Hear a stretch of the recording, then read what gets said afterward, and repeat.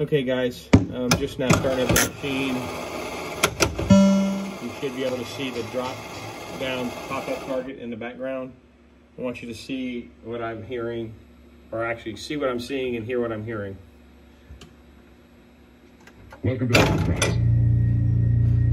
You can tell it's down now. I'm gonna fire. It went down after I hit it.